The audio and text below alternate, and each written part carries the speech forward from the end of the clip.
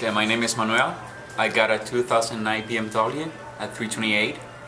Uh, the experience was really, really smooth from contacting um, Jarvis to all the financial requirements that we had to do. So great job.